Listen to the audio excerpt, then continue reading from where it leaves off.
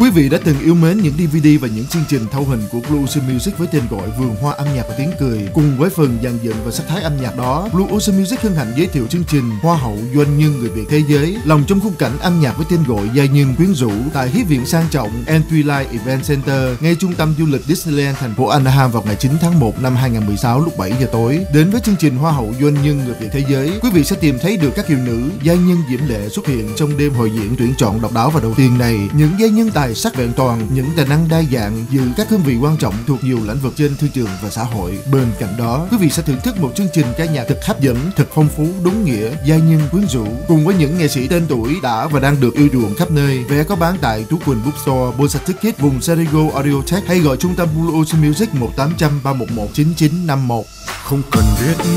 em là ai không cần biết em tên